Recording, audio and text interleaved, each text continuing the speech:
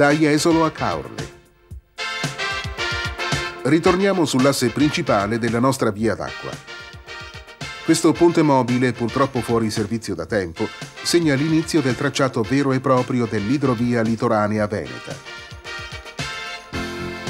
Si prosegue lungo il canale Cavetta, che corre rettilineo verso est fino a Cortellazzo, piccolo porto turistico e peschereccio alla foce del fiume Piave.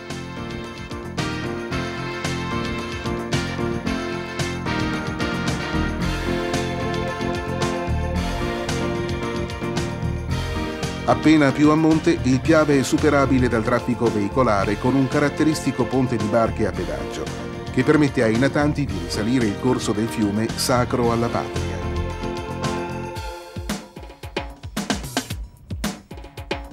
L'asse principale dell'idrovia però si tiene più a valle e si inoltra nel territorio liventino. Attraversata la conca di Ravedoli, si naviga lungo il canale Largon nell'entroterra di Eraclea Mare. La moderna località turistica è immersa nella pineta ed è dotata di una darsena.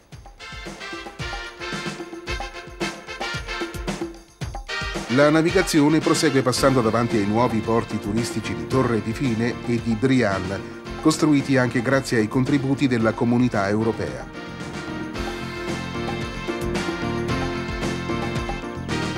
Lasciata a sinistra la chiusa che immette al canale Livenza Morta, si continua per il canale Commessera e si arriva alla foce del fiume Livenza, lo sbocco a mare del porto di Caorle.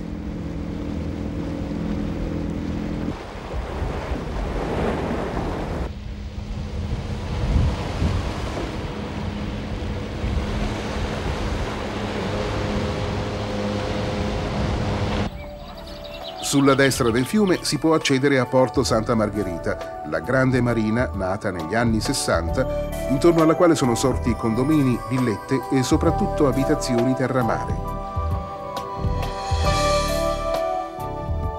Davanti l'entrata di Porto Santa Margherita si trova l'imbocco del canale dell'orologio, che dà accesso alla nuova darsena Villaggio dell'orologio.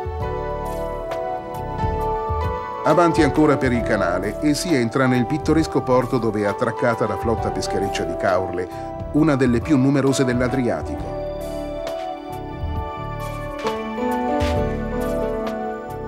La cittadina balneare è famosa per il suo antico centro storico, caratterizzato da strette calli e da luminosi campielli.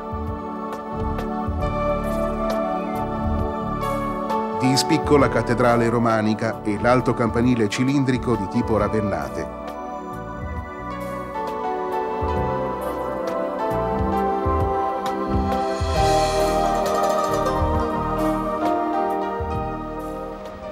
Lasciata la chiesa della Madonna dell'Angelo protesa sul mare, non si può tralasciare di visitare la laguna di Caorle, alla quale si accede mediante comodi canali navigabili. Esempi di archeologia industriale ci accompagnano in questi luoghi nati dalle bonifiche che si sono succedute dal 1700 al 1900. Nel villaggio di San Gaetano cominciamo a ritrovare le tracce di Ernest Hemingway, che qui incontrò l'incanto della natura affascinante e selvaggia. Proseguiamo e giungiamo nelle valli che circondano la casa di caccia Valle Grande, che ospitò in più occasioni lo scrittore americano e che lo vide impegnato in battute di caccia all'anitra accompagnate da gagliarde bevute.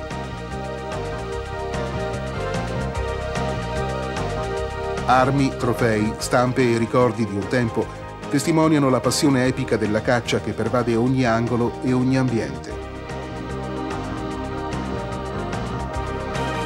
Qui nella laguna che offre ancora momenti di solitudine e di silenzi, Hemingway pensò di trovare quella serenità che invano aveva cercato sempre e dovunque. Diramazione lungo il fiume Lemene.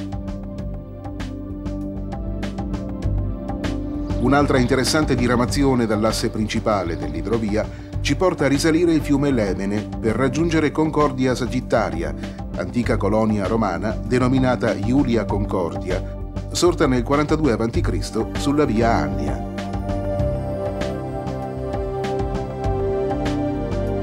Risalendo ancora il fiume si raggiunge la splendida cittadina di Porto Gruaro, nata nel Medioevo come porto sull'Enere.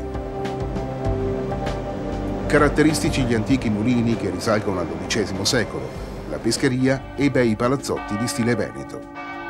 La scultura di due gru, il simbolo della città, sormonta il pozzo che sorge accanto alla loggia municipale del XIII secolo. Da Caorle a Bibione,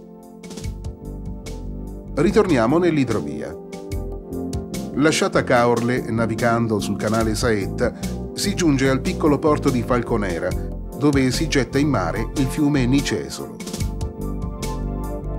Più avanti a Brussa, nell'entroterra di Valle Vecchia, un esempio di approdo privato che offre numerosi servizi al turista nautico.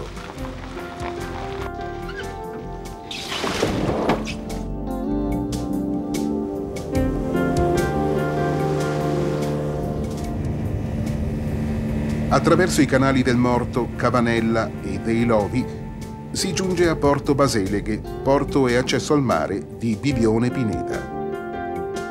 Nella bocca di porto notiamo il moto ondoso determinato dallo scontro delle correnti.